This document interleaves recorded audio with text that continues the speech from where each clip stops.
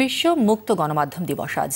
উনিশশো একানব্বই সালে ইউনেস্কোর ছাব্বিশতম সাধারণ অধিবেশনের সুপারিশ মোতাবেক উনিশশো তিরানব্বই সালে জাতিসংঘের সাধারণ সভায় তিন May world press freedom day বা বিশ্ব মুক্ত গণমাধ্যম দিবসের স্বীকৃতি দেওয়া হয়। চলতি বছর keeping power in check, media justice and rule of law এই স্লোগানকে সামনে রেখে বাংলাদেশ সহ বিশ্বের বিভিন্ন দেশে দিবসটি পালন করা হচ্ছে। এদিকে দু হাজার সতেরো সালের মে মাস থেকে চলতি বছরের এপ্রিল পর্যন্ত বিশ্বের বিভিন্ন স্থানে দায়িত্ব পালন করতে গিয়ে নিহত হয়েছেন একশো জন সাংবাদিক। এদের মধ্যে দু হাজার সতেরো সালে নিহত হয়েছেন আটাশি জন। নিহতদের মধ্যে ছেচল্লিশ জন দুর্নীতি বিষয়ক খবর সংগ্রহে জড়িত ছিলেন। আর দু হাজার আঠারো সালের প্রথম চার মাসেই এক নারী সহ বত্রিশ জন সাংবাদিক নিহত হয়েছেন। গড়ে প্রতি মাসে বিশ্বজুড়ে নিহত হচ্ছেন আট জন সাংবাদিক। ইন্টারন্যাশনাল প্রেস ইনস্টিটিউট, আইপিআই এর এক প্রতিবেদনে এসব তথ্য উঠে এসেছে।